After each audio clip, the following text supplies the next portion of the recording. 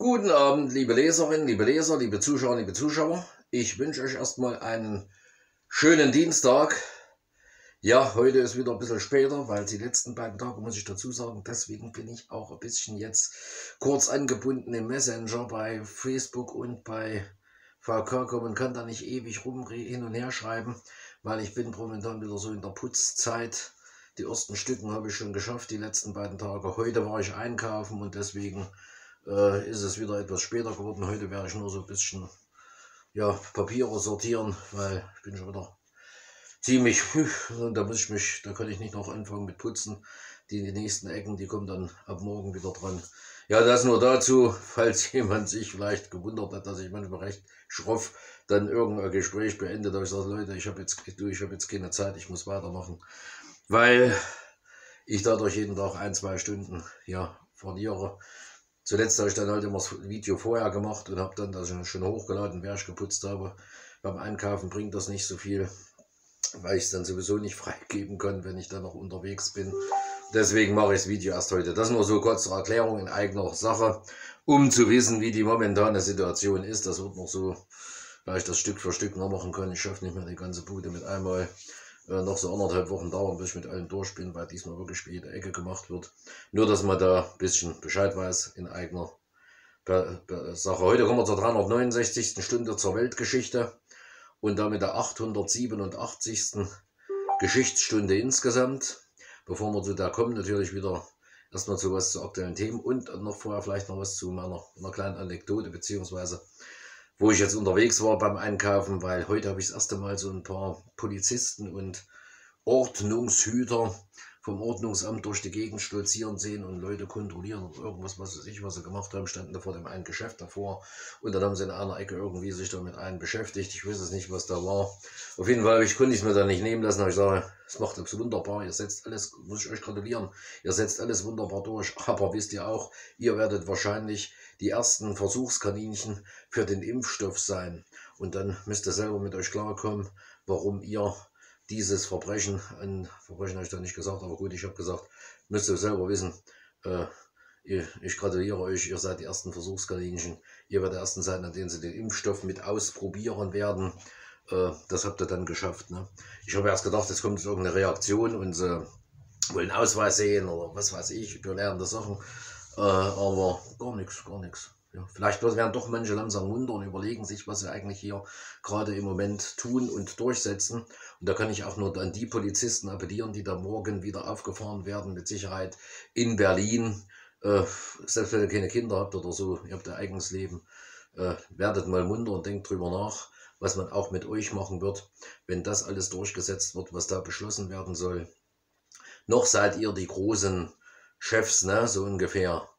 Aber was ist eine scheiß Beamtenbesoldung und ein Beamtenjob gegens Leben? Weil hier geht es nicht mehr um Pipifax, hier geht es auch nicht mehr darum, ob irgendjemand pleite geht oder nicht. Hier geht es äh, schlicht und einfach nur noch darum, um unser zukünftiges Leben. Ob wir das uns durch eine direkt oder indirekt aufgezwungene Impfung versauen lassen, äh, indem da mit uns Versuche gemacht werden mit irgendwas, wo noch gar keiner weiß, was da rauskommt, und wir dann vielleicht ein Leben lang mit Krankheiten rumlaufen, die wir nie gehabt hätten, äh, wenn man uns nicht eingeredet hätte. Wir müssten uns wegen 0,3 Prozent, die positiv durch einen PCR-Test getestet worden sind, äh, impfen lassen. Nur das so als Hinweis an die Polizisten. Und jetzt kommen wir zu dem, was wir heute sagen. Vielleicht ist da schon einiges oder andere schon jetzt dadurch mit abgearbeitet. Ja, da haben wir 101 Übersicht, natürlich wieder alles Corona-Pandemie, Kritik an Ergebnissen der Gespräche von Bund und Ländern. Ja, meistens ist aber die Kritik noch dahingehend, es ist nicht scharf genug, es muss noch schärfer werden. Ja, ihr werdet noch sehen, wo ihr damit hinkommt. Wie gesagt, gerade die, die das durchsetzen, weil sie ja mit Leuten zu tun haben und äh, einsatzfähig sein sollen müssen, werden wohl wahrscheinlich als erste als Versuchskaninchen benutzt werden, um mal zu schauen, was aus dem Impfstoff wird. Ne? Erkrankte Richterin reicht Klage gegen Triage ein. Aha, ach, jetzt geht's wieder los. Das habe ich schon mitbekommen heute Mittag. Jetzt machen sie schon wieder Angst den Leuten davor, äh, dass ab gewissem Alter Leute dann nicht mehr behandelt werden und dies und jenes. Es geht wieder genauso los wie im März, äh, wo man den Leuten Angst davor gemacht hat. Oh, ihr kommt vielleicht dann in das Krankenhaus und ihr werdet nicht mehr behandelt, weil ihr zu alt seid oder irgendwie aus anderen Gründen nicht so wichtig. Ne? Ja, ja, diese ganze Geschichte kocht jetzt wieder hoch. Die wird jetzt wieder gemacht, um den Leuten Angst zu machen. Aber die Angst ist bei mir vorbei, weil äh, mit euch gibt es kein Leben mehr, mit euch da oben. Ihr Verbrecher, ihr seid keine Politiker, ihr seid keine Bundesregierung, ihr seid einfach nur eine Verbrecherbande, die einfach weg muss, weg muss. Gesetzentwurf von Spahn zu Krankschreibung per Videosprechstunde. Wunderbar, wunderbar. Wir lassen uns jetzt, wir untersuchen uns selber und sagen dann dem Arzt, was wir haben. Lockdown in Österreich hat begonnen, fast alle Geschäfte zu. Wie gesagt, dass die Geschäfte zusehen und dass Leute pleite gehen, alles schlimm. Auch viel schlimmer ist, dass dieser Herr Kurz mit seiner Bagage äh, euch ja für euer ganzes Leben Leben lang zeichnen will, nur damit die Pharmaindustrie und die ganzen Lobbyisten, die hinter diesem Herrn Kurz stehen und ihn dahin gebracht haben, wo er jetzt sind, ist, äh, richtig viel Kohle machen. Und äh, wie gesagt, es geht nicht mehr darum, ob hier irgendjemand pleite geht, ob eine Währung verfällt oder irgendwas, alles nebensächlich. Es geht um unser Leben. Alles andere ist nämlich ohne eine richtige Gesundheit. Und da könnt ihr mir glauben, ich kann davon selber auch gute Lied äh, singen mit dem, was ich alles habe. Ohne Gesundheit ist alles nur halb so viel wert. Und wenn das kommt, diese Impfung, und dann die Schäden auftreten, die unter Umständen auftreten werden, und diese Wahrscheinlichkeit ist hoch, äh, ist egal, ob ihr noch einen Job habt oder ob viel oder wenig Geld, ist dann alles nebensächlich. Ja, Grünes Gewölbe in Dresden, drei Tatverdächtige Kunstdiebstahl festgenommen. Natürlich hat wieder gesagt, deutsche Staatsangehörige wären das. Ja, das sagt uns schon wieder alles. Sind also wieder Deutsche in Anführungszeichen, denen man einen Pass gegeben hat. Wahrscheinlich irgendwelche Clanbrüder äh, aus dem Libanon oder sonst woher. Sicherheitspolitik, EU laut Verteidigungsministerin Kramp-Karrenbauer abhängig von USA. Das sind Verteidigungsminister, die verkünden, wir können nicht selber für unsere Sicherheit sorgen, wir sind abhängig. Leute, wie lange wollt ihr euch noch von solchen, von solchen äh, Intelligenzbestien in Anführungszeichen regieren lassen, die nichts im Kopf haben? Das Einzige, was, es, was ihre einzige Qualifikation ist, dass sie skrupellos sind, machtgeil und äh, über Leichen gehen, wenn es darum geht, ihre Macht zu halten. Das sind ihre einzigen Qualifikationen, auf die sie wahrscheinlich getestet worden sind. Wer ist am skrupellosesten, da kommt am weitesten hoch. Kopf, was im Hirn, musst du nicht haben. Im Gegenteil, das schadet noch. Das könnte dazu führen, dass du irgendwann selber nachdenkst, anfängst nachzudenken. Automobilstandort Deutschland. Merkel berät mit Autoindustrie und anderen über Branchenimpuls. no, ich habe es gesehen. Nur noch alles selbstfahrende Autos, alles Mögliche. Wir werden sich noch wundern, der Automobilstandort, wenn das so weitergeht und nicht langsam eine Kehrtwende kommt, war einmal der Automobilstandort Deutschland. Das garantiere ich und ich hatte bis jetzt mit allem recht, was ich gesagt habe. EU-Haushalt. Bundesregierung fordert Polen und Ungarn zur Aufgabe von Blockade auf. Ich würde ihnen was scheißen. Die sollen schön blockieren. Dann tun sie uns zumindest schon mal mit was Gutes. Da wäre nämlich nicht an Herrn Macron und Herrn Sanchez, damit die gnadenlos ihre Wirtschaft kaputt machen können, Gelder gezahlt, damit sie ihre, ihr Verbrechen gegen die Franzosen und Spanier weiter durchziehen können. Deswegen können die ja das so großzügig machen und alles platt machen, weil sie ja wissen oder denken zu wissen, dass sie hunderte Milliarden, wie waren es, 140 Milliarden soll der Sanchez kriegen, äh, von vor allen Dingen Deutschland bekommen. Nicht nur Deutschland, aber vor allen Dingen Deutschland. Bleibt mal schön stur, Herr äh, Herr Orban und wie jetzt der Pole heißt, fällt mir jetzt nicht ein, Kaczynski oder was, ich weiß es jetzt nicht. Ja, Afghanistan und Irak, Präsident Trump will laut Medien Abzug von US-Soldaten vorantreiben. Ja, das war ein Präsident, der versucht hat, keine Kriege anzufangen. Alle freuen sich schon auf Biden und dann wird es in jeder Ecke wieder knallen. Ja, und dann wird wieder gesagt, wir müssen die Flüchtlinge aufnehmen. Ne? ja, deswegen kommt Merkel so gut mit beiden zurecht. Passt genau in ihren Plan, Deutschland durch Zuwanderung kaputt zu machen. Und durch Impfung und alles Mögliche. Äthiopien, UNHCR waren vor humanitärer Krise in Region Tigray. Ja, früher hätte es mich mal interessiert, aber die sollen selber klarkommen mit dem, was sie sich selber eingebrockt haben, denn ihre Kriege führen nicht wir, die führen sie selber. Hurricane Iota, Sturm trifft mit bis zu 20 gehen.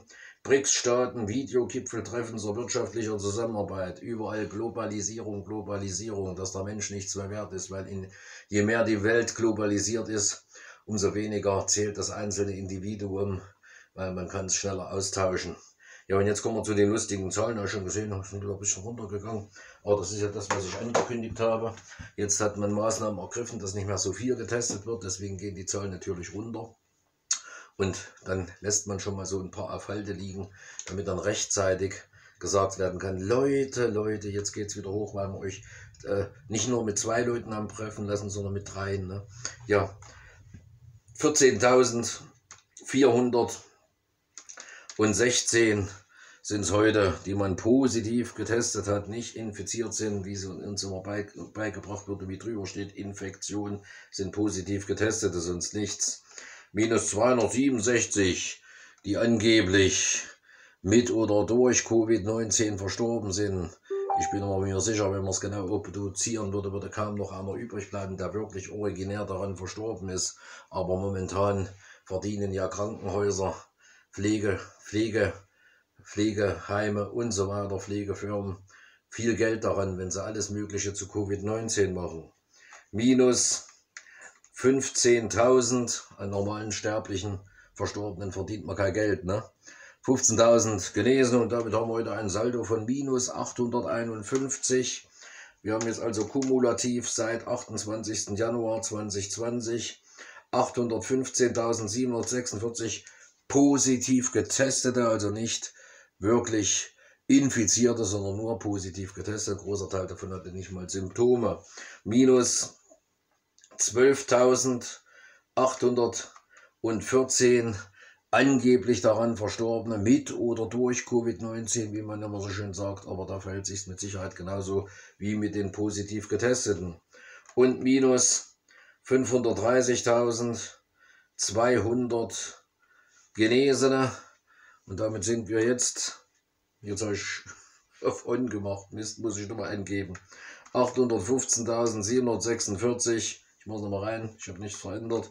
Minus 12.814 minus 530.200. Jetzt mal so richtig mit ist gleich.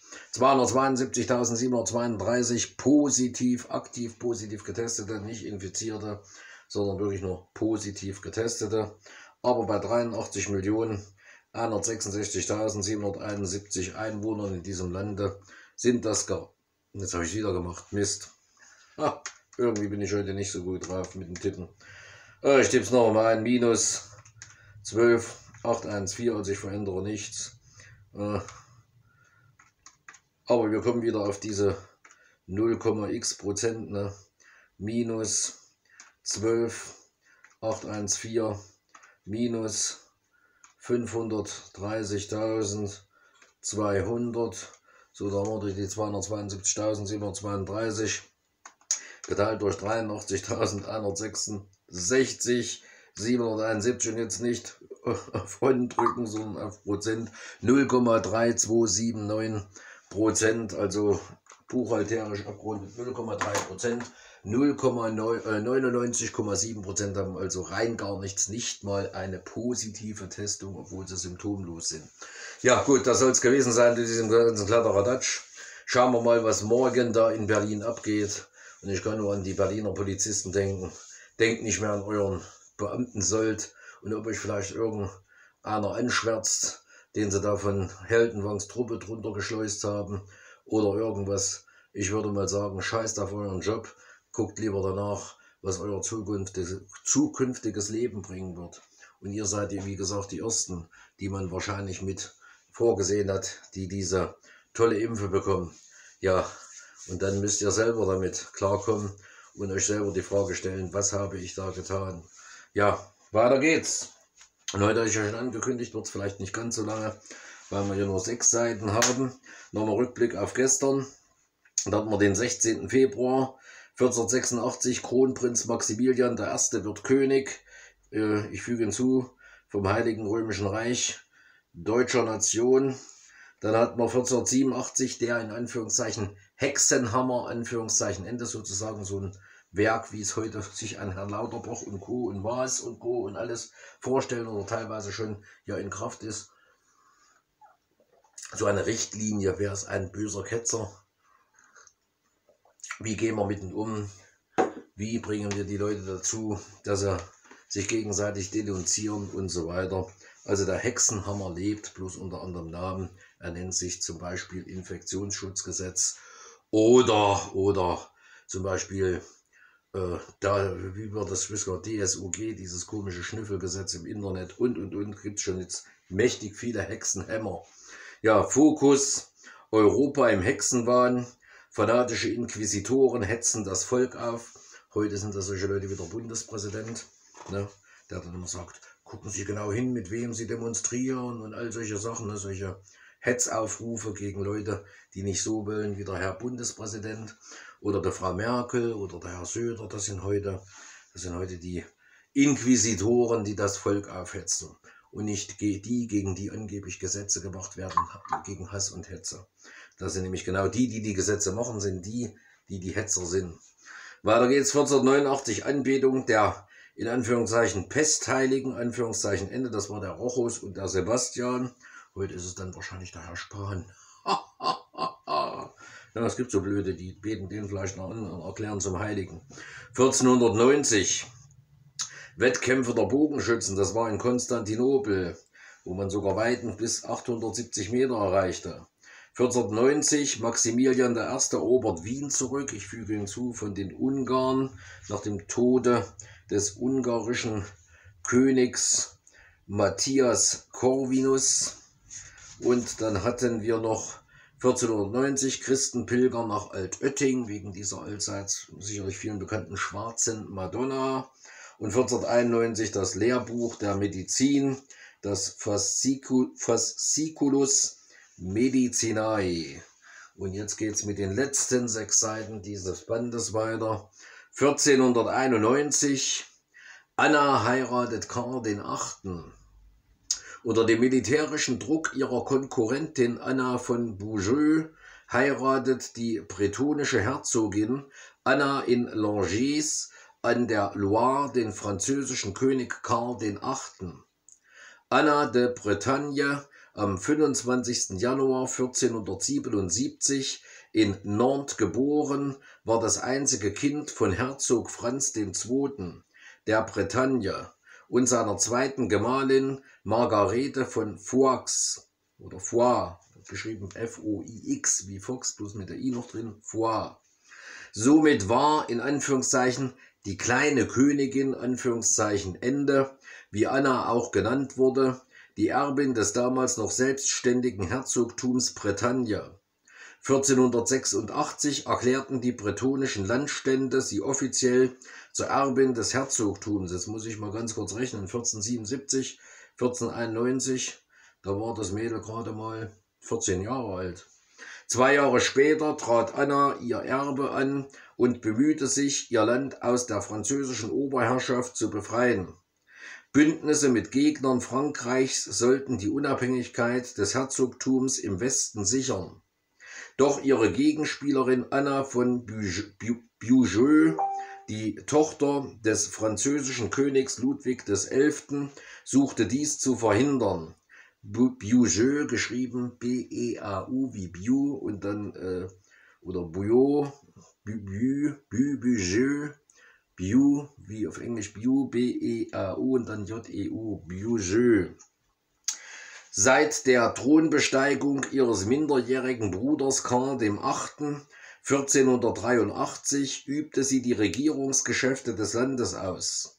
Ihr Ziel war die Stützung der königlichen Macht und die Begrenzung der fürstlichen Autonomiebestrebungen, besonders in der Bretagne. Als die dortige Herzogin Anna sich im Dezember 1490 in Anführungszeichen per procuram Anführungszeichen Ende mit dem Habsburger König Maximilian, einem 31-jährigen Witwer, trauen ließ, sah Prinzessin Anna den französischen Thron bedroht. Handstreichartig glückte es ihr, die noch nicht vollzogene Ehe vom Papst annullieren zu lassen. Könnte ja fast wie, könnte ja fast so wie Merkel gewesen sein, so ein Typ, ne? Außerdem ließ sie die Bretagne angreifen, deren Verteidiger ohne die erwartete Unterstützung Maximilians bald unterlagen. Um ihrem Land weitere Leiden zu ersparen, beugt sich Anna de Bretagne dem Drängen ihrer Konkurrentin und ehelicht Karl VIII. Damit fällt die Bretagne de facto an die französische Krone. Deutsche Unterstützer König Maximilians protestieren gegen die Heirat mit dem französischen Monarchen und sprechen von in Anführungszeichen Brautraub, Anführungszeichen Ende, Punkt. Anna hat mit ihrem Gemahl drei Söhne und eine Tochter, die aber alle schon als Kleinkinder sterben. Als auch Karl VIII. im Jahre 1498 stirbt, heiratet Anna den neuen König Ludwig XII.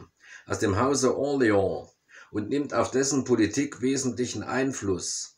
Ihrem zweiten Gatten gewährt sie fünf Kinder, von denen jedoch nur zwei Mädchen das Erwachsenenalter erreichen. Anna de Bretagne wird als klein und leicht hinkend beschrieben. Trotzdem soll sie außergewöhnlich schön und mit majestätischer Würde aufgetreten sein. Ihre Bildung trug dazu bei, dass sie bildende Künste und Dichter nach Kräften förderte und an den Hof einlud. Da haben wir noch zwei Bilder.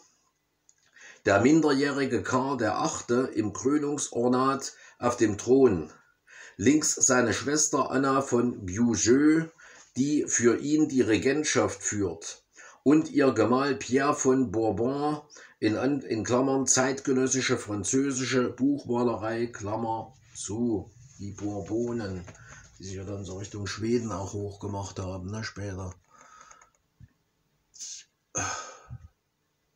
Da haben wir sie. Im Krönungsornat. Muss ich mal gucken, bis da runter geht's Bild, da ist die Schrift noch. Deswegen. Ja, und weiter geht's. Haben noch zwei, ah, noch ein zweites Bild. Frühneuzeitliche Darstellung von Anna de Bretagne, Herzogin und Gemahlin von König Ludwig XII. von Frankreich und ihrem Kind der Prinzessin Claude de France, in Klammern spätes 15. Jahrhundert, Klammer zu.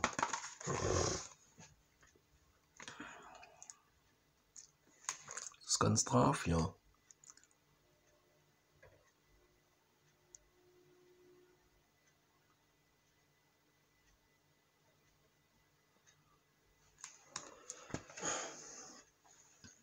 Und weiter geht's mit dem Jahre 1491 Friede in Kilikien.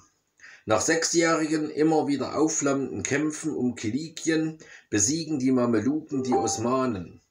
Die Region im östlichen Kleinasien ist strategisch bedeutend, da sie den Zugang zu Syrien sichert. In Klammern in Anführungszeichen kilikische Pforte, Anführungszeichen Ende, Klammer zu. Osmanensultan Bayezid konzentriert seine Expansionspläne daraufhin gen Norden nach Serbien, Ungarn und Kärnten. Und dann haben wir 1492 Machtvakuum in Florenz. Der universell gebildete Stadtherr von Florenz, Lorenzo de Medici, in Klammern in Anführungszeichen, der Prächtige zu Deutsch, Klammer, äh, Anführungszeichen Ende, Klammer zu, stirbt.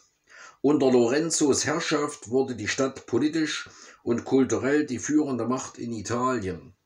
Das Machtvakuum nach dem Tode Lorenzos löst eine Krise in Italien aus, die zum Einschreiten des französischen Königs und des römisch-deutschen Kaisers führt.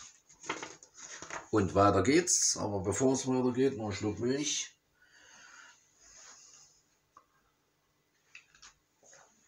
Und heute im Übrigen Zusätzlich dazu, dass nur sechs Seiten sind.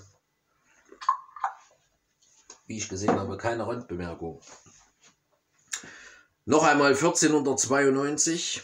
Skandalpapst Alexander VI. Seinen kometenhaften Aufstieg in der kirchlichen Hierarchie verdankt Rodrigo, Rodrigo de Borgia einem nahen Verwandten seinem Onkel Alonso, der von 1455 bis 1458 als Papst Calixt III. amtierte. Obwohl der junge Borgia nach dem Studium des kanonischen Rechts noch nicht zum Priester geweiht ist, ernennt ihn sein päpstlicher Oheim im Februar 1456 zum Kardinal. Schon im folgenden Jahr ist er Vizekanzler der Kirche und wegen der damit verbundenen Pfründe einer der reichsten Männer Europas. Am 10. August 1492 gelangt Rodrigo de Borgia durch Stimmenkauf auf den päpstlichen Stuhl. Als Papst Alexander VI. begreift, begreift er das Papsttum vor allem als politische Institution. Der neue Pontifex ist ein skrupelloser Machtmensch, der ungeachtet seiner Kirchenwürden den Frauen stark zugetan ist und dies auch der Öffentlichkeit kaum verheimlicht. Dabei unterscheidet sich sein Lebenswandel nicht besonders von demjenigen anderer Kirchenfürsten seiner Zeit. Noch als 70-Jähriger hält er sich eine sehr junge Mätresse, die die Römer blasphemisch in Anführungszeichen Sponsa Christi Anführungszeichen Ende in Klammern Braut Christi Klammer zu nennen. Punkt. Es kursiert auch das Gerücht, der Papst habe mit seiner Tochter Lucretia geschlafen. Alexander VI. wechselt nach Bedarf die Verbündeten, um seinen neuen Kindern, die er mit verschiedenen Mätressen hat, ein erbliches Reich zu verschaffen. Vor allem Lucretia und Cesare erlangen Einfluss und Macht. Lästige Rivalen soll der skrupellose Pontifex mit Gift aus dem Weg geräumt haben den seine Gottlosigkeit anprangernden Dominikaner und Bußprediger Savonarola lässt er als Ketzer hinrichten. Der renommierte Theologieprofessor aus Florenz hatte der katholischen Kirche immer wieder Sittenverfall vorgeworfen. Ganz in der Tradition alttestamentlicher Propheten sah er in Visionen eine Strafe auf die Kirche zukommen. Am Dom in Florenz stellt er öffentlich den Papst an den Pranger. Der Papst agiert wie ein weltlicher Fürst, dehnt seine Territorialmacht aus und kann das Vordringen Spaniens und Frankreichs gegen den Kirchenstaat eindämmen. Nach der Entdeckung Amerikas vermittelt er mit, im Streit zwischen Portugal und Spanien die im Vertrag von Tordesillas im Jahre 1494 1990 festgelegte Demarkationslinie zur kolonialen Aufteilung der Welt. Kurzes Bäuerchen, Entschuldigung. Verdient macht sich der Papst auch um die Mission Südamerikas, für die er gegen den Protest der spanischen Krone spanisches Kirchenvermögen besteuern lässt. Am 18. August 1503 stirbt Alexander VI. nach kurzer Krankheit in Rom. Sein Tod löst großen Jubel aus. Sogleich wird auch ein Giftanschlag vermutet. Ja, wie regierte dieser, dieser Borgia, dieser Alexander VI. nicht anders als heute diese ganzen Alexander Sechsten, ob wir Merkel nehmen, ob wir Macron nehmen, ob wir Sanchez nehmen, ob wir Conte nehmen, ob wir von der Leyen nehmen, und zukünftig eventuell, vielleicht können wir es ja noch verhindern, wird es noch verhindert, einherbeiten. Alles so kleine äh, Leute, so kleine, kleine äh, Groß, Groß, Größenwahnsinnige, die sich für das, für das Heil der Menschheit halten, allen anderen vorschreiben wollen, wie sie zu leben haben. Und wer davon abweicht, der wird als Ketzer bezeichnet, wie dieser, dieser Gelehrte, dieser, dieser Dominikaner, ne? Ja, ja, ja, genau dieselbe Herrscher, Herrscherart wie damals in den finstersten Zeiten des Mittelalters, die wir gerade erleben. Und wir müssen dafür sorgen, dass diese Brut von der Welt verschwindet, dass wir wieder Normalität einkehrt und wieder rechtschaffende Leute die Welt regieren und nicht kleine Psychopathen, Größenwahnsinnige, skrupellose Verbrecher. Ja, hier haben wir noch ein Bild dazu. Papst Alexander VI., in Klammern eigentlich Rodrigo de Borgia, an, äh, Klammer zu, im Gebet, in Klammern nach einem Fresko von Pinturicchio in den Appartimenti Borgia, 1492 bis 1495. Ja, beten können die alle, diese, diese Unschuld, diese, diese Betroffenheitsmine, wenn wieder mal Leute durch ihre Schuld bei Terroranschlägen umgekommen sind und so weiter. Das haben sie fest eingeübt. Ja, aber man kann ihn, wenn man genau in die Gesichter reinschaut, kann man immer öfter merken, dass sie sich da immer öfter die Blöße geben und sich zeigt, dass sie selbst das nicht mehr für nötig halten. Weiter geht's, dieses Schauspieler. 1492. Erstes Modell der Erdkugel. Der Nürnberger Kaufmann und Geograph Martin Beheim fertigt in seiner Heimatstadt den ersten realistischen Erdglobus. Der Kosmograph, der seit langem in den Diensten von König Johann II. von Portugal steht, erschafft am Vorabend der Entdeckung der neuen Welt durch Christoph Kolumbus in Klammern 12. Oktober, Klammer zu, mit seinem in Anführungszeichen Erdapfel, Anführungszeichen Ende, zugleich den ältesten bis heute erhaltenen Globus. Die Idee, ein kugelförmiges Erdmodell Modell herzustellen, ist alt. Sie stammt aus Griechenland, wo bereits 159 vor Christus der Stoiker Krates von Mallos einen Erdglobus entwarf, der jedoch hinsichtlich der geografischen Details in keiner Weise der Realität entsprach. Krates zeichnete lediglich vier halbkreisförmige, durch einen meridionalen und einen äquatorialen Gürtelozean getrennte Kontinente ein das Bild dieses in Pergamon aufgestellten Globus wurde in der byzantinischen Zeit zum Symbol des Anspruchs auf Weltherrschaft. Beheim versucht, die ihm bekannten Weltteile korrekt wiederzugeben, was ihm insoweit gelingt, als von den erforschten Gebieten, in Klammern, das sind Europa sowie große Teile Asiens und Afrikas, in Klammern zu, geografische Koordinaten vorliegen. Die Kenntnisse hatte Beheim sich in Lissabon angeeignet, wo er lange Zeit als Kartograf wirkte und auch an Expeditionen teilnahm. Aus Gründen der Geheimhaltung durfte er nicht alle Daten veröffentlichen. Dies ist der Grund für einige ungenaue Details auf seinem Globus. Und da haben wir noch ein Bild dazu. Der in Anführungszeichen Erdapfel Anführungszeichen Ende genannte Globus des deutschen Kosmographen Martin Beheim in Klammer Nürnberg 1490 bis 1492, Klammer zu. Ja. Hätte noch ein bisschen gewartet, dann hätte noch die andere Seite mit Südamerika bestücken können und Nordamerika und Mittelamerika. Da haben wir es alle. Ja. Ja, Australien fehlt wahrscheinlich auch noch drauf. Ja, aber immerhin, ne? Langsam setzte sich das Wissen durch, trotz solcher Päpste wie Alexander VI. Und genauso wird es auch jetzt wieder sein, Frau Merkel. Und ihr werdet nicht als die Großen in die Geschichte eingehen, sondern äh, als die übelste Ganovenbande, die jemals die Welt regiert hat. Weiter geht's. 2. Januar 1492. Letztes Bollwerk der Mauren fällt. Mit der Einnahme der andalusischen Festung Granada durch die vereinigten spanischen Streitkräfte verlieren die Araber ihre letzte Bastion auf der iberischen Halbinsel.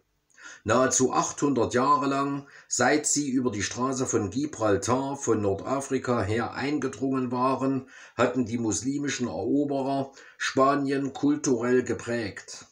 In langen Jahrhunderten waren sie im Zuge der Reconquista von den Christen Stück für Stück zurückgeworfen worden.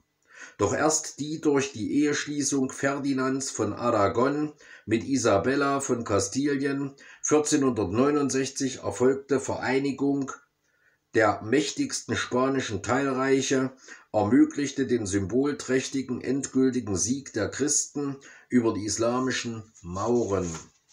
Ja, und da haben wir noch ein Bild dazu. Einzug der katholischen Könige in Granada.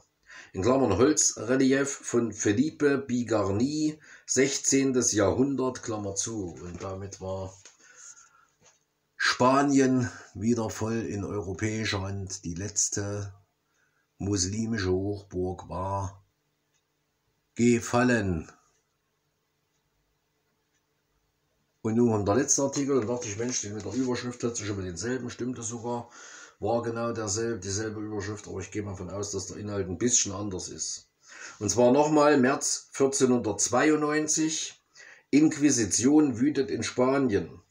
Nach dem Fall der letzten maurischen Festung setzen die Könige Ferdinand von Aragon und Isabella von Kastilien den Juden eine Frist von vier Monaten, ihren Besitz zu liquidieren und das Land zu verlassen oder sich taufen zu lassen. 1499 und 1501 werden die Muslime vor die gleiche Alternative gestellt. Eine nahezu, ein nahezu endloser Strom von Vertriebenen ergießt sich zunächst nach Portugal, dann in die Niederlande, nach England, nach Süd- und Südosteuropa und Nordafrika. Die spanische Inquisition wird zur Schreckensherrschaft und verfolgt besonders die in Anführungszeichen Conversos, Anführungszeichen Ende, konvertierte Juden, die insgeheim ihrem Glauben treu bleiben. Der Papst bestätigt die Ernennung des Dominikaners Thomas de Torquemada, des Beichtvaters und Beraters der beiden Könige, zum Generalinquisitor in Spanien.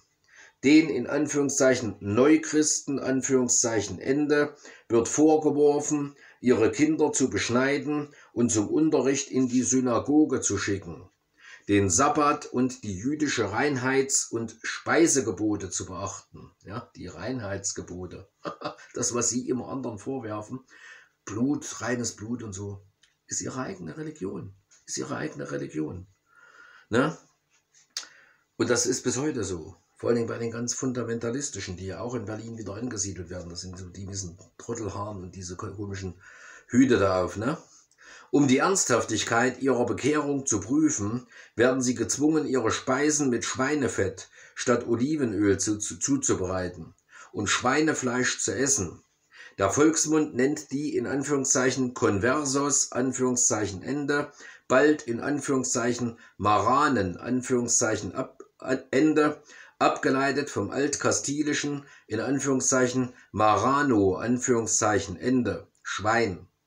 Zwischen 1481 und 1525 gibt es mehr als 5000 vollstreckte Todesurteile und tausendfache Verurteilungen Abwesender. Ja, und warum war das wahrscheinlich auch so, diese, diese äh, Geschichte mit den Juden? Weil wer meine ganzen Geschichtsvideos gesehen hat, der weiß ja, wo es um die Zeit ging, als die Araber die Halbinsel, die Iberische Halbinsel erobert haben waren es die Juden, die das begrüßten und die ihnen praktisch mit die Türen öffneten, weil sie die bösen Westgoten loswerden wollten und sich von denen so verfolgt und benachteiligt gefühlt haben. Und dann gesagt, oh, da ist jetzt eine neue Religion und Allah und die Muslime, die lassen wir jetzt rein, sind wir die Westgoten los. Und das Ende vom Lied war, dass sich dann komischerweise wieder zu den Westgoten im Norden Spaniens geflüchtet haben, weil dann dieser neue, die neue Religion doch nicht so gut war. Genau dieselben Sachen erleben wir heute wieder, weil wer ist immer diejenigen, sind immer diejenigen, die als erste von Nazis, von Rechtsextremen und sonst was schreien,